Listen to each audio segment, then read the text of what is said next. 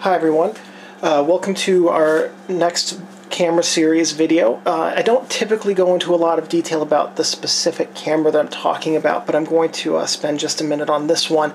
This was my first twin lens reflex camera. It remains my only TLR, actually. And the um, uh, I picked this up for $14 at an estate sale, and when I bought it, I kind of bought it on faith. I had no idea whether it worked or not. There was so much kitchen grease on the lens, inside and out, that I couldn't even see the shutter holding it up to light. And the outside was covered in shoe polish, so it took me uh, it took me about five hours of taking it apart and cleaning it one evening to get it to work. I actually had to take the lens assembly apart because the aperture control arm wasn't connected to the aperture anymore. Excuse me. But that said, uh, it's a great old camera, and it's very it's a very in, important camera for me because it's my oldest camera, I believe. Uh, not the oldest I've ever owned, but the oldest I own right now. And we'll get to this in a little bit in the video, but this is one of the oldest old standards out there. And I don't know exactly how many still exist, and I don't know what the lowest serial number still in existence is, but this one has a really low serial number. So uh, at any rate, we'll get to that in a, in a, little bit later in the video. So now, we'll get back to the camera in general. This is a fixed lens, twin lens reflex camera. Now what that means, and it's a little bit different, in fact it's a lot different than most of the cameras we've looked at so far. There are two lenses on the front of the camera. There you can see them over here. We've got, this is called the taking lens, and this is called the viewing lens. So when you're looking through the viewfinder, which is up at the top. You look down through it. You would look through the image which is being generated by the viewing lens. This is a fixed f3.1 Helio, uh, helioscope anastigmat lens. Oops, all of the old standards had that exact same lens, and I think a few of the the cameras after this one did, but I'm not a Rollei expert, so don't quote me. Then this one, there were three models of old standard.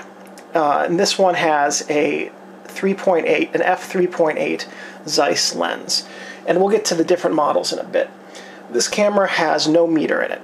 It predates metering in cameras, so you, if you, when you use this, you have to take a meter along with you. And you can get those for your smartphone now, and they're really very accurate.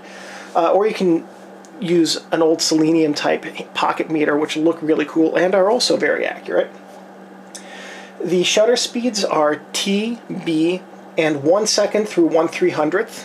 Many old standards, the shutters aren't perfectly timed anymore. I'm really lucky with this one, it is.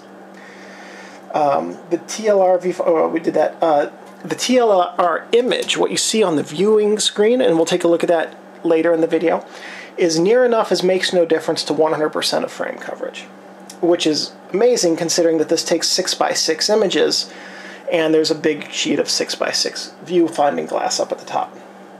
The standard ground glass uh, focusing screen, uh, it came with it. There were interchangeable options, and there are still third-party options available for this camera, which you can get. They're very expensive, hundreds of dollars, but apparently they can make a big difference. Um, honestly, the viewfinder in these old cameras, to my eyes, is bright enough that it's not really needed, and I can do a pretty good job focusing with this uh, one is using a magnifying loupe. There's a glass built into this, but if you use a loupe, you can get even better magnification for even more precise focusing. And lastly, there is no flash sync on this camera. This camera was released in 1932, and the target market was high-end photographic users. And back in the day, this was a very high-end camera. It was, I think I, I think I remember reading it was like 100, $130 or something like that when it was released. Maybe I have that written down. Anyway, it was a very high-end camera, and the uh, the Rolleiflex, which is what this is, were the top-end uh, cameras from from Franke and uh, from the company that made these, and the Rolleicords were the entry-level ones. So there were three versions of this old standard. The old standard model 620 had a 1 to 4.5 taking lens uh, which is a 7.5 centimeter or 75 millimeter uh, Zeiss Tessar lens, and it's an f4.5. The 621, which is what this model is, this is a 621, had the 1 to 3.8 7.5 centimeter Zeiss taking lens. And the 622 had a 1 to 3.5, uh, no, I take that back. The 622 had the um, 1 to 3.8 lens, but a different shutter. The, six, uh, the 620 had, I should have written these notes better. The 620 and 621, this is the 621, and the 620 with the f4.5 had the same shutter, which has the 1 to 300th second uh, actu- act- actuation speeds on it. The 622 had a 1 to 1 500th. It had a, an additional faster speed of 1 500th of a second built into the shutter. Okay, so of the three models, there were the 620, the 621, which is this, and the 622. The 620, the, uh, the 620 is the rarest. There were only 4,926 of the 620s made. The first one was made in January 1932, and the last one in January 1934. The old standard run itself went until 1938. The 621 uh, had 38,248 copies from January of 1932 until January of 35. And this is the 621. And then this was superseded, built concurrently with the 622, which is the same camera but with a, uh, the slightly faster shutter. And that had 51,894 copies made from November of 32 until May of 1938. So the serial number run, the, this the production run for the old standards. All three models used the same serial number system and the first old standard was serial number 200,000, 200000. So if we assume sequential numbering, then my old standard, which is 205212, is a fairly early run. You know, there were a total of 90,000 of these things made over the course of the, uh, the six years they were made which means that that's 15,000 per year and this is 5,000 which would mean it was probably made within the first 4 months of the production run which is fairly early. Uh, I only have one camera that I, I can say definitively was made earlier in the production run than this and that's my K1000 which was made with, uh, within the first 2 months of the production run. Anyway, um, so this is a, a fairly early camera which is nice. And I don't know how many exist that are older than this one. I, I wish I had a way to find out. Uh, I would like to know how uh, how close to the production run this was and how many predate it still. At any rate, this was uh, produced by the brand was Rollei, but the manufacturer was Frank and Heidecke or Franke and Heidecke. I'm not really sure how that's pronounced. They're still around. They fell apart, and then a bunch of the former employees regrouped into a new company, and they're making very, very high end cameras. I would love to be able to buy one, but that won't happen. Uh, and as I've said, this this old standard, and it wasn't always called the old standard. They called it the standard until 1939 when the new standard was released, and then people just started calling this the old standard. So this I call it the old standard, but it's rightfully called the standard.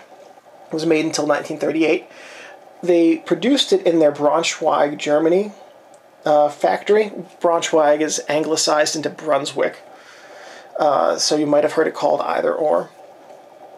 It was preceded by the original Rolleiflex. So this is only the second model that Rollei, that Franke, uh, Franke and Heidecke made. And it was preceded by the original Rolleiflex, which took 6x6 images but used 117 film. This is actually the first Rollei that used 120 film. It was designed for 120 film, which was starting to become popular then. Uh, and it was concurrent with the other two models of the, the uh, old standard. Now, of interest, this is another important model because it was the first TLR with a crank arm to advance the film instead of a knob, making it a lot easier and a lot faster. And the crank arm did the automatic counting. You didn't have to look in the red window to make sure that things were going to line up properly. Unless you own my copy of this camera, uh, at any rate. Uh, and then this was this was followed by, as I said, the new standard, which improved on it slightly, though I'm not a new standard expert, so I couldn't tell you exactly how it was improved. So now we're going to go through the camera's features. We're going to start with the top of the camera. I'm to grab this spare battery here and see if we can prop that up a little bit. Okay, so we've got the camera top. Let's move that back. And when the viewfinder is closed, that's just what you see, is you see the closed viewfinder. So I'm to open it here and hold this up. So you can see when you look through the viewfinder, you don't really get much of an image, you just get my studio lamps, which are just shop lamps. They're nothing glamorous. But that's what you use what you look through. And so you've got the viewfinder on top. The i oh yeah, this is an interesting thing. This is the only Rollei with this feature. This is called the Sport Finder. When you flip up just the top but not the whole viewfinder. And in the center of the Sport Finder,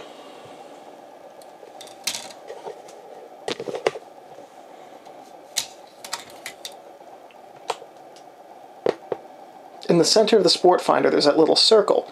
And that circle is actually a mirror. And what this the way this is engineered is that when you look through the dot, through the hole in the center, you can see your pupil in the mirror when the image is correctly aligned with the film plane. So if you have everything pre-focused and you're anticipating a shot, all you have to do is pop that up and look through it, and then you know exactly when to take it. And that's that's like I said, the only the only model Rollei that has that. It's really kind of a nifty feature and well engineered. And unfortunately, this type of sport finder fell out of favor for a more complex mirror-based one where the light bounces around and stuff. It's it's an interesting design, but required more complex engineering with more things to fall apart. anyway, there's also, let's see if I can get these to close. We have this magnifying glass. So when you're looking at the view, viewfinding screen to focus, there we go. Let me see if I can actually get this on the camera. You can see, so you have this magnifying glass, and you can look through it to get a more fine focus detail in your image, which is incredibly useful because the focusing screen, while, while acceptable, uh, is also using very old technology and it doesn't focus as well as the lens or the film can, and so you sometimes will lose some image quality relying just on the focusing screen. We also have the depth of field scale. Uh, on the back here, there's a chart.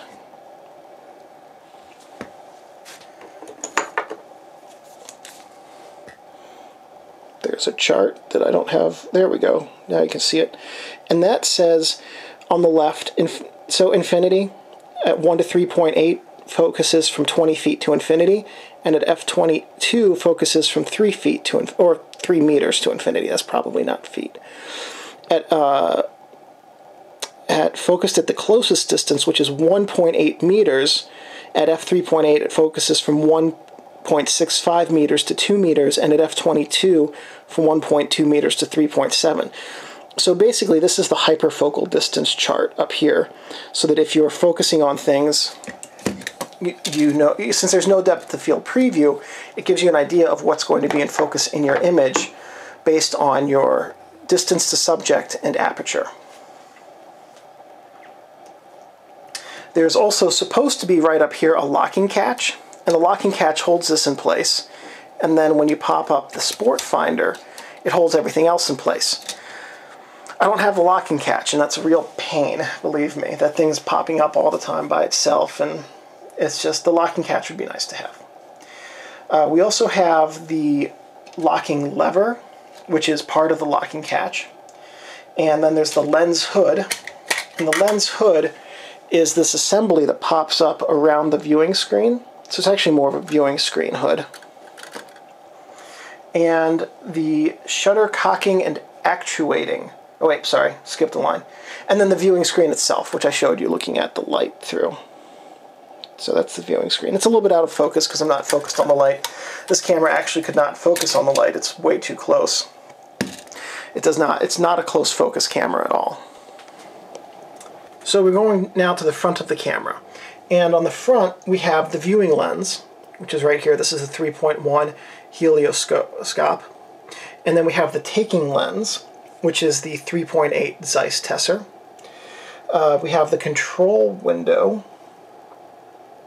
Shutter, oh yeah, that's on the top of the front here. Up here we have a what's called the control window. And when you adjust, see if we can get, there we go. You can see it moving. When I adjust the shutter speed, it goes from T up to 1 300th of a second. And then adjusting the aperture goes from slightly smaller than f22, probably about f27, down to f3.8. So when you're, and the way this is designed, and the reason it's like this is so that when you're looking through the camera viewfinder, you can also look right in front of it and see what your settings are. And then you can reference your settings against the uh, depth of field scale table. Uh, the front also has the stop set. Uh, so here's the stop setting lever right here on this side. This sets the aperture. And then we have the shutter speed lever, which is right here, and then that sets the shutter speed. The shutter cocking lever, let me make sure I'm at an actual shutter speed here, one tenth of a second, that's fine. So here's the shutter cocking lever. To actuate the shutter, you first have to prime it, basically get the springs ready to fire, and then that activates the shutter. And so if we have it at a different speed, that's time, push it open, push it close. That should be bulb. Nope, that's bulb. Nope, it's not. Never mind. That was a full second. Let's get back to bulb here. Here's bulb. Push it open, hold it, release it, and it closes. then we go all the way to 1 300th of a second.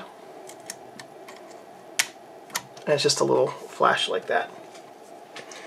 The uh, so that's the shutter cocking and actuating lever. Then over here we have the cable release port. It's built into the side right here. It's very hard to see. I demonstrated except that mine doesn't work. so moving on to the camera sides and back. This is the right side when you face the camera. This is the shutter focusing knob. And what this does is physically move the lens. So the further the lens goes out from the body, the closer the focus. And you might have noticed that I actually rotated this two full turns. The knob is marked for one full turn from infinity down to some number, 1.7 meters. But you can go slightly closer than that with one more full turn, which takes you down to about 1.3 meters. And that's not an accident. Uh, Franke and, and uh, actually designed it like that intentionally, and they talk about it in the instruction manual as an intentional design um, detail. This is a uh, lug to hold the um, camera case in place. This is part of my strap system. The camera case for this thing is in it's disintegrating quickly, so I set it up to hold to take its uh, take my straps instead, um, which works fine. I have a lens cap for it, so that protects the taking lens. This is part of the um, film tensioning system. This holds the film spool in place inside the camera, which we'll see in just a minute when we get inside of the camera. Going over to the other side, we have the film advance crank. This is the, the film count window. Now, on a properly functioning one of these, this would display the number of frames that have been taken. I don't have a properly functioning one of these, so it, it, it doesn't. It counts and then it behaves properly with each frame, kind of, but it doesn't actually display the number. And when I say kind of, it's because this camera only fits 11 frames on a 120 roll. It's supposed to fit 12, and that's because it spaces every, it, it cranks everything like the first frame, so it advances the um, spool just a little bit too much uh, for the later later frames, and then the space between the frames gets longer and longer, and eventually an entire frame gets eaten up with that. This button right here resets the frame count. So if you're taking if you've taken a picture, advanced, hey now it's working, kind of. One, two. You might be able to see the numbers actually advancing. I think my camera is showing off for the video. Three, four, five, six, seven, eight. Now, when these were made, the film only took six or nine exposures. Modern 120 takes 12. So when you get to nine, you have to reset it and then take a couple more. And you reset it that way. Just push the button and it resets. If you keep cranking, that can risk damaging the mechanism, and you don't definitely don't want to do that on these old cameras. So those are the two things on the, this camera side. Uh, then shutter cable port. Oh, I talked about that. Oh, and then the back. Okay, so the camera back wraps around wraps around the camera. And this is this is the starting of the back. This is the uh, exposure. Oh yeah, this is the exposure table. So this tells you what your subject is and some recommended exposure settings. This is a film window, and the oldest of the old old standards came with a rubber plug that went into the top and bottom film windows. So after you got the film set up, you just plugged that, and you didn't have to uh, risk light being the film being fogged by the light honestly, it's not really an issue. I've never had a problem with that. Um, i have a problem with the light leak in this camera, but that's different. So this is indicates that you you line up the one here if you're using B1 film, which is six exposure, six by six, and takes six exposures. And this indicates that you line up the B2 film, which takes uh, nine exposures. Uh, there's no hole for lining up the 120, so I just line it up with here with this one. Um, so this is the film back. The, then on the film bottom, we, you saw we have the secondary red window. Here, let me get a better angle on it. Secondary red window, uh, tripod bushing, and the film back release. So we pop up the film back, and now we can see inside the camera. Now the film back, all of the old standards could be, could take plates, film plates, which is a, something that's probably a foreign concept to most everyone alive today, including me. And uh, all you had to do for that was take the back off. Take the back off, which also helps for the video seeing what's in here. And then there was something called a Rolleikin, which was a film um, glass plate adapter that you would put into the camera, and the glass plates would would I think take up this whole back space right here be, they'd be a little bit larger, so you'd have a little room to handle them with, but then they would still take the standard 6x6 image. Glass plates had some advantages over film in that uh, for people who are into really advanced photography, such as doing things like infrared, you could buy a standard glass plate and the infrared sensitizing dyes, and then sensitize the, the glass plate for infrared at home, which is pretty cool, and uh, something that's just not available to modern film photographers. Uh, I guess that's not true. You can make your own glass plates and your own emulsions and then sensitize them with the dyes, but it's not available to modern film photographers who don't want to die of cancer in our 20s. Uh, at any rate, so then we've got uh, inside the camera, this is where the take-up spool goes. So when you advance the film crank, this this spins, the film arm, this spins, and that takes up the, the spool. And then to release the spool, you just pull out on this, and then it's supposed to fall out. Uh, because there's actually more film on these modern spools, um, they uh, and because also I found with this one the plastic spools don't pop out of this very well at all because they're a little bit bulkier, but the metal spools fall right out. Um, I haven't used 620 film, 120 metal spools work fine. You can see here's the uh, image area with the lens and here's where the actual film image uh, is taken. And then this is pretty nifty. You put the film in here. Let's see if we can get a better better light on that. Put the film in here, and then there's a little lever here, and what you do is you push down on the lever, and it ejects the spool when you're done. Makes it very easy to get that out of there. And then, of course, you've got a stand a, a film roller system with three rollers, and that helps keep the, the film flat on plane while it's inside of the camera. And the last thing about the back is here's how you put the back back on. Now the uh, there's a little knob protruding right here, and this side is a has a spring right here. This is this is a spring. This side is is not as much of a spring, and so you start by putting the knob, the little nub end right in there, pushing a little bit, tilting it into place, and then the spring pushes it back into alignment and you can shut it. And it's so it's really easy to, to interchange the backs or something like that. So if you have a good camera with a bad back and a good back with a bad camera, now you've actually got one good camera. I'm fairly sure, certain nobody actually has that problem. So some notes on this camera. It is 100% mechanical. It vastly predates the days of electronics in camera. There's no battery for it or anything like that.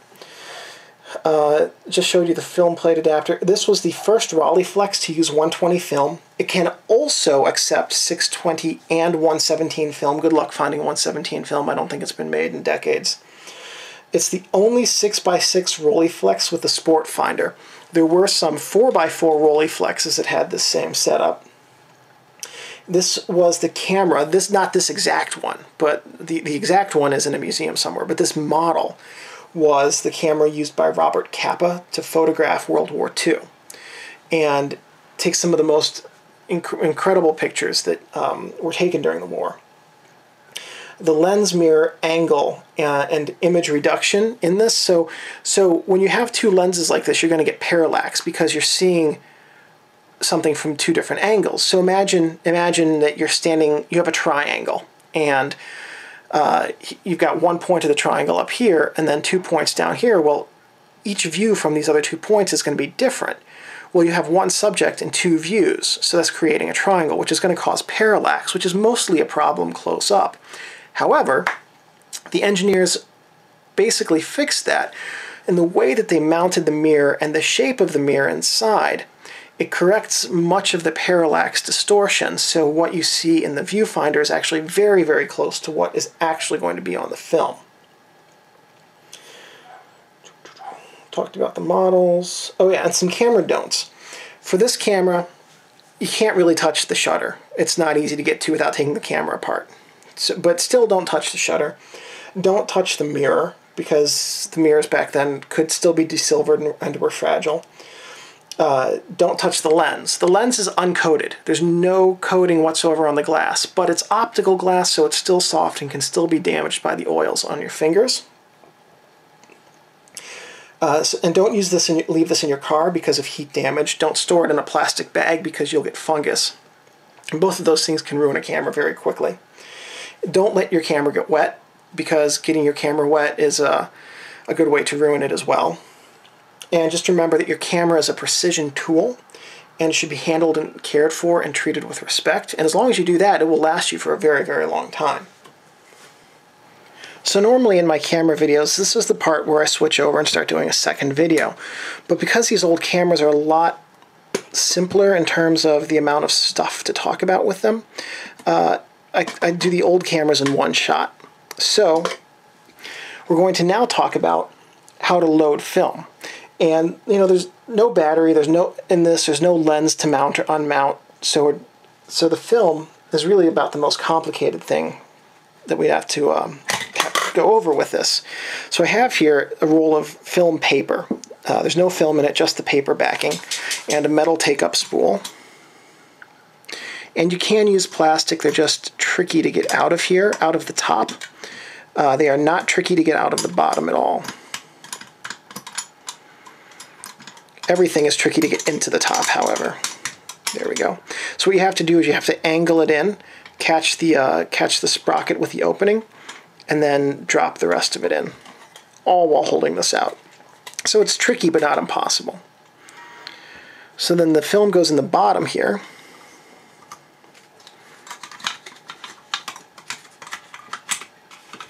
Just like that.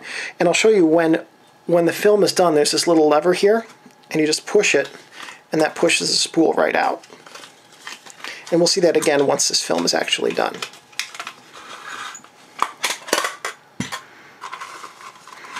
So you would take your film and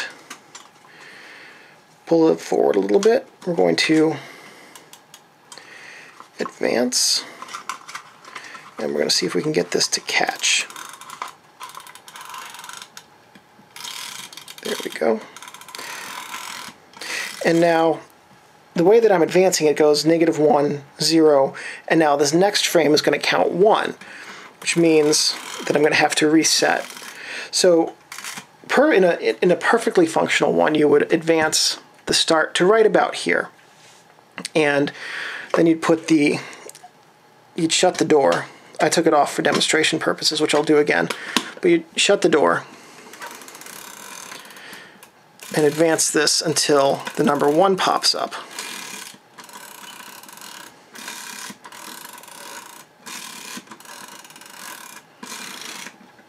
After these dots,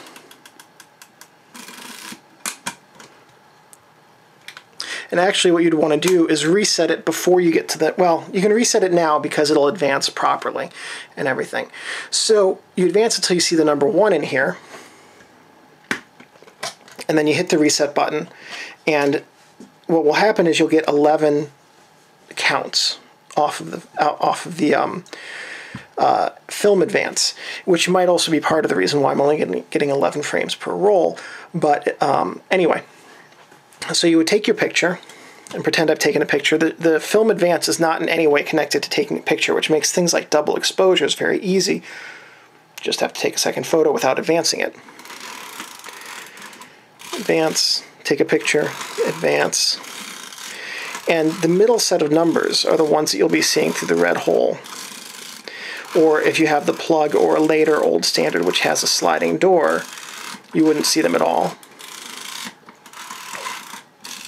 But you can see that with this one, numbers aren't lining up exactly perfectly.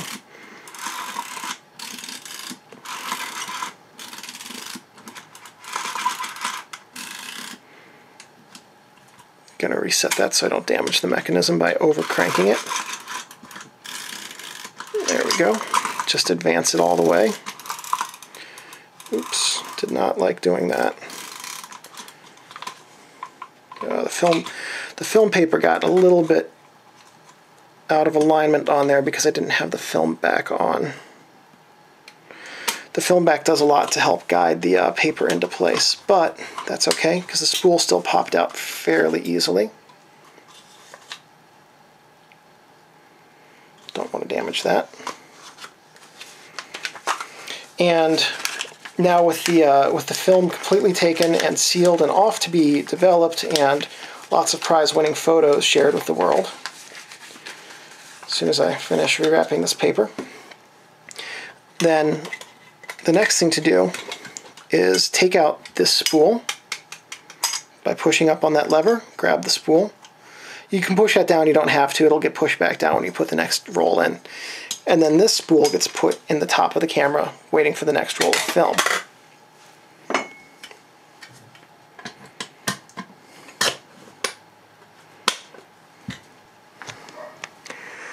So that's the sports finder. Uh, this is the last thing we're going to do before we call it a day. And then I'm going to share you share some photos with you uh, after the video that I've taken with this camera uh, to show you some the, the image quality.